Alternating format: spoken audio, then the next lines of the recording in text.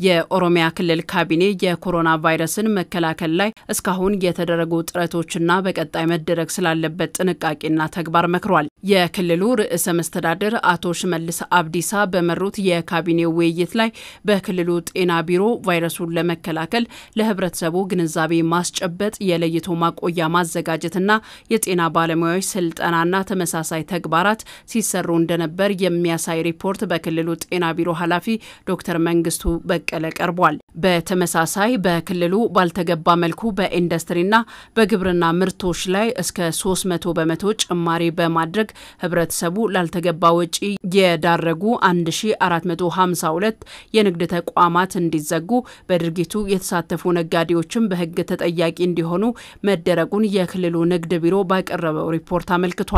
ሪፖርቱን ካደመጡ በኋላ ለክልሉ ካቢኔ የቀጣይ አቅጣጫ ያስቀመጡት የክልሉ ርዕሰ መስተዳድር አቶ ሽመልስ አብዲሳ እስካሁን የተሰራው ተግባርን አድንቀው በተለይም የዋጋ ጭማሪ ባደረጉ አካላት ላይ የተወሰደው እርምጃ ተጠናክሮ እንዲቀጥልም አጽንኦት ሰጥተዋል። ኬሰቱ ቃለንሳ ፋን ወልቀበቴ ከን ታንቱ ፕሬዚዳንት ዳንገጌፈሙ ዳንጌፋን ሆጀተን ሆጂ ጉዳዳ ሆጂቺ ጀባቹ ትረቀብ ወልዳን ሆጂ ገምታስ abbaan alangaa sirritti irmaatanii hojiin hojjetan hojii bal'aadha የገበያ አለመረጋጋት በፈጠሩት አካላት ላይ የተቋቋመው ኮሚቴና ንግድ ቢሮ ትልቅ ስራ ሰርቷል። የህብረት ስራና አቃቢ ህግም በጋራ የሰሩት ስራ ሰፊ ነው። በህገ ወጥ ነጋዴዎች ላይ የሚወሰደው እርምጃ ተጠናክሮ መቀጠል አለበት። አሁንም የተለያዩ ምርቶችን የመሸሸግ ሁኔታ ይታያል። ስለዚህ ቁጥጥሩ መጠናከር አለበት።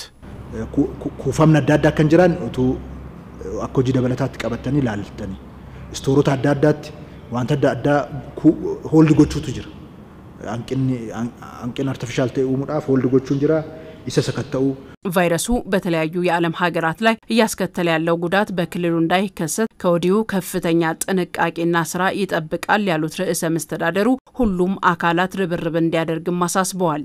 ዲቤን ኩን ዮ አኩማማ ጫሳ ጅሩ ሁንደ ሁምነ ጅሩ ሁንደ ወሰቾስ ኢዝሊ ማኔጅ ጎቹ ደንደ ያለንን መዋቅር ሁሉ ማንቀሳቀስ ከቻልን በሽታውን መቆጣጠር እንችላለን። ነገር ግን በጋራ ካልሰራን ሌሎች ሀገራት ላይ እየደረሰ ያለው ጉዳት በከፋ ሁኔታ የማይደርስብን ምክንያት አይኖርም። ስለዚህ ሁሉም ሰው ትኩረት ሰጥቶ መንቀሳቀስ አለበት። xiyyeeffannoo kennee keessatti hojii hubannoo uumu hubannoo uumummoo tokkoof tokkotti jechaadha. fuulaa fuulatti nama bira ga'uu danda'u nurra jechuudha. ርዕሰ መስተዳደሩ ከካቢኔያቸው ጋር በነበራቸው ውይይት ቫይረሱን መከላከል እንዲያስችል የተለያዩ ኮሚቴዎችን ያቋቋሙ ሲሆን የውሃ ችግርን የሚፈታ የትራንስፖርትን ጉዳይ የሚመለከት የማረሚያ ቤቶችና የሌሎች ጉዳዮችን የሚሰሩ በጥቅሉ ሰባት ያህል ኮሚቴዎች ወደ ስራ እንዲገቡ አቅጣጫ አስቀምጠዋል። ከዚህ ባለፈ ለክልሉ ሕዝብም ጥሪ አቅርበዋል። keenya bal'aan qorsise bulaan hojjetaan mootummaa qonnaan bulaan jiraataan magaalaa መላው ህዝብ፣ አርብቶ አደር፣ አርሶ አደር፣ የመንግስት ሰራተኛው እስካሁን ያደረጋችሁት እንቅስቃሴ ጉልህ ነው። ለዚህም ላመሰግናችሁ እወዳለሁ። በቀጣይም በየደረጃው ባለው አካል የሚቀመጡ አቅጣጫዎችን ህብረተሰቡ እንደተለመደው ጠንካራ ተሳትፎ እንዲያደርግ አሳስባለሁ።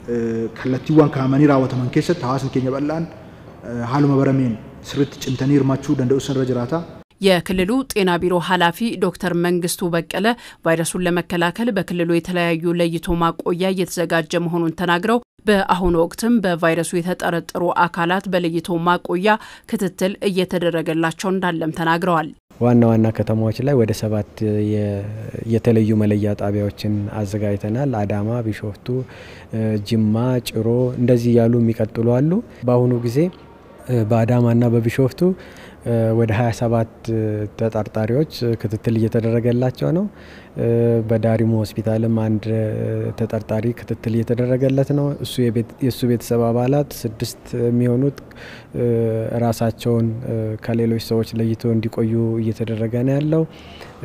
ትላንትና በጭሮ አንድ ተጠርጣሪ እንደዚሁ ተለይቶ ክትትል እየተደረገለት ነው ያለው።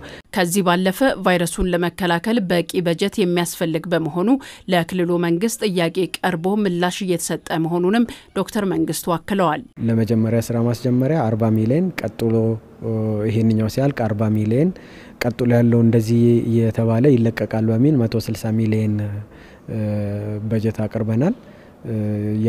ያለ ካቢኔው ራሱ መቀመጥ ሳያስፈልገው 40 ሚሊዮኑ በክልሉ ገንዘብና ኢኮኖሚ ልማት ትብብር ቢሮ የጋራ መግባባት already ተለቆልናል። ስለ ቫይረሱ ህብረተሰቡ ግንዛቤ እንዲኖረው እየተደረገ ነው የሚሉት የቢሮ ኃላፊ ህብረተሰቡ የሚሰጠውን መረጃ ተግባራዊ እንዲያደርግም ጥሪ አቅርበዋል።